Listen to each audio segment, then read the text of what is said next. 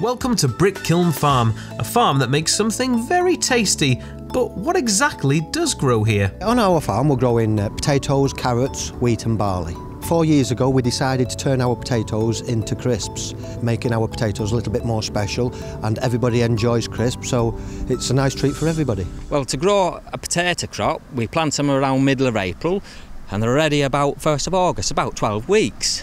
But before we start putting them in the frying pan, we have to come and do a test dig, like we're doing today. Well, it isn't a complicated process. All we have to do is dig a few with a fork, put them in a bucket, wash a few, put them in the fryer, and see what colour they turn out. If they're brown, they're not ready. They've got to be a nice pale, light colour. Well, from planting to harvest, about 12, 16 weeks. The potato harvest takes place in August. The farmer uses a tractor with a big potato harvester at the back to scoop up all of the soil and potatoes.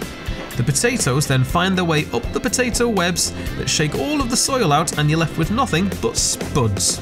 Potatoes are collected by the tractor and returned to the farm for storage. So John, is it difficult to make crisps? It's not that difficult to make crisps. It starts with the potato. Just slice them nice and thinly and cook them in very hot oil and you should get pretty good results really.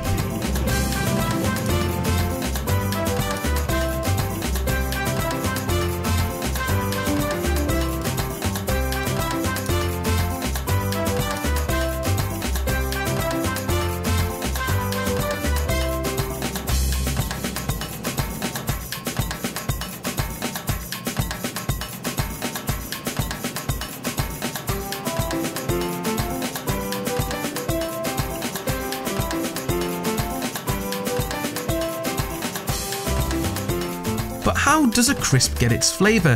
They come in all different sorts of exciting flavours, but how does it actually happen? Well, it's actually a powder that replicates that uh, seasoning, and then when the crisps are nice and warm and sticky after they've been cooked, that's where the flavour is sprinkled onto them. Yeah, it's not bad working with our family. Sometimes we do a little bit of squabbling. Who's going to be the chief taster that day? We all get along very well and we all enjoy making nice crisps. So, have you got any ideas for the future? What kind of crisps you'd like to make? What flavours you'd like to try? Maybe some new flavours coming on soon, but that'll be secret. That's secret.